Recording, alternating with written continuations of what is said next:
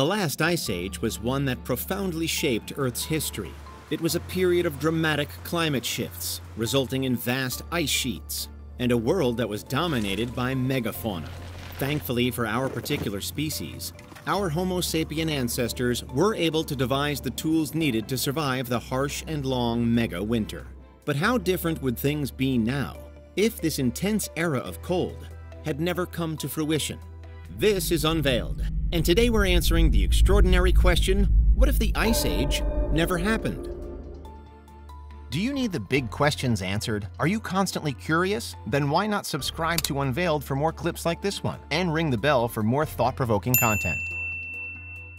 An ice age is defined as a period of significantly reduced temperatures on our planet's surface and in its atmosphere. They have the potential to last for millions of years at a time.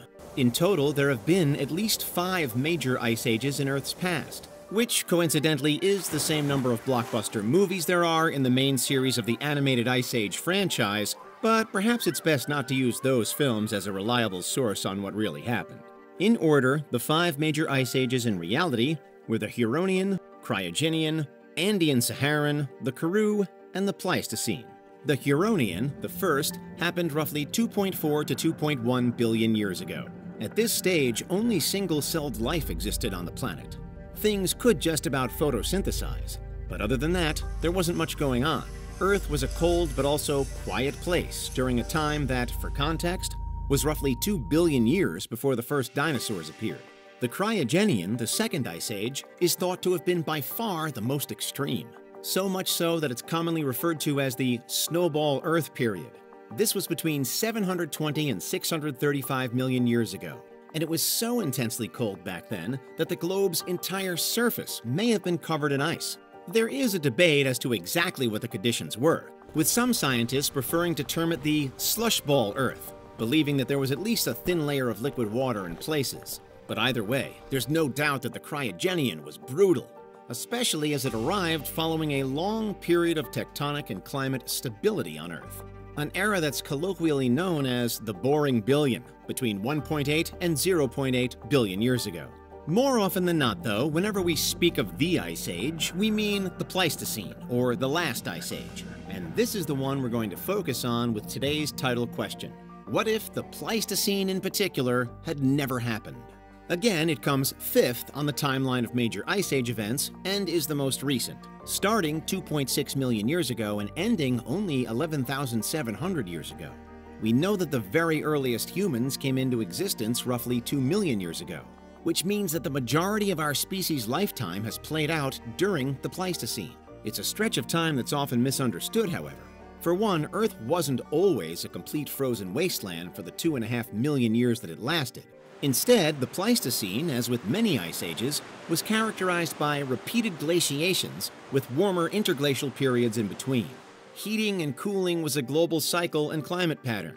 At the height of the glaciations, though, we know that vast ice sheets certainly did appear. The last glacial maximum, or LGM, happened around 20,000 years ago. Temperatures worldwide were approximately 11 degrees Fahrenheit below today's average, and ice covered most of North America, Europe, and Asia. Significantly, the shifting conditions, including lower sea levels, created land bridges, which allowed humans at the time to migrate across the world map.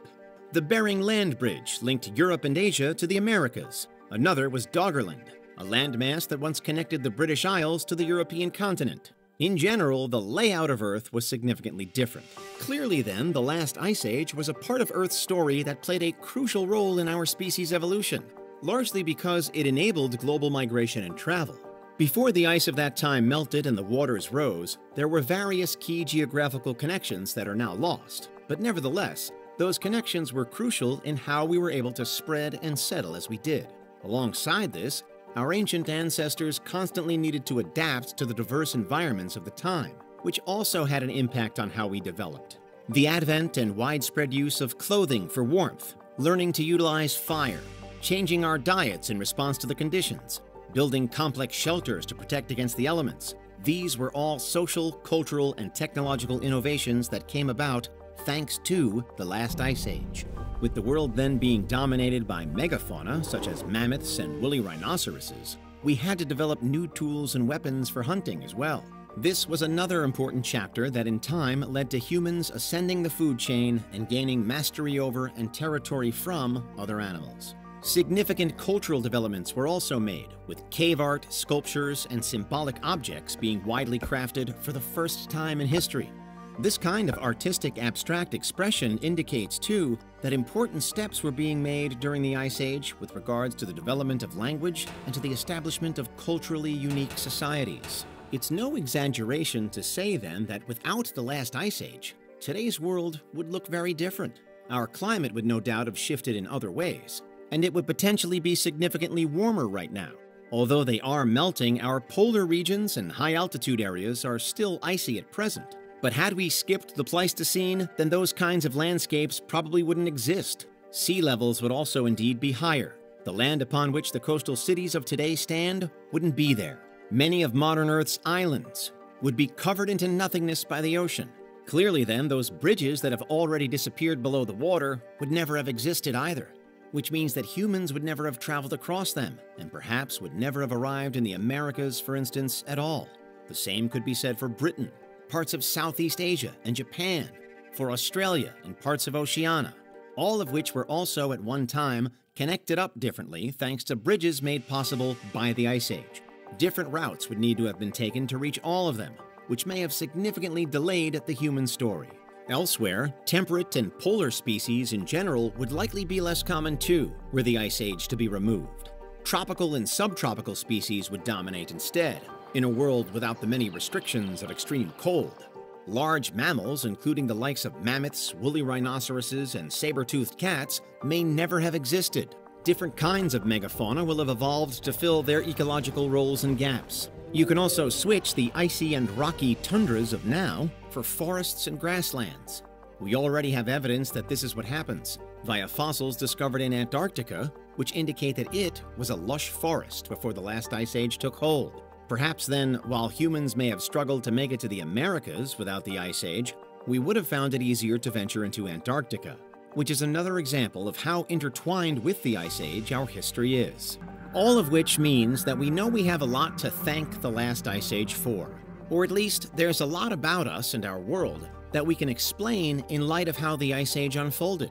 From our cultural spread to our technological growth, from our reliance on shelter to our wearing of clothes, it's all rooted in that last great glacial stretch. Then again, it might be argued that the last ice age only really served to slow us down. For example, agricultural development only really began to happen during the warm period at the end of and after the Ice Age. This could mean that without the Pleistocene, we may have transitioned from hunter gatherers to farming societies at a much earlier point, which in turn could mean that our towns and cities, while advanced today, may have moved at an even greater pace had humans evolved to settle in one place at an earlier time. Ultimately, without a time machine to go back, and without some other kind of mythical, mystical, impossible contraption to stop the Ice Age from happening when we get there, there's no telling exactly how this alternate history would have taken shape.